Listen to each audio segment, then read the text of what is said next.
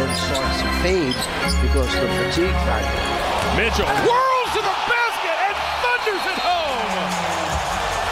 Just a gorgeous move by Donovan Mitchell for the flush. Donovan Mitchell trying to take this team, put them on his back, and get them a W here. Watch this. Take on three defenders, split them, finish it with the dunk.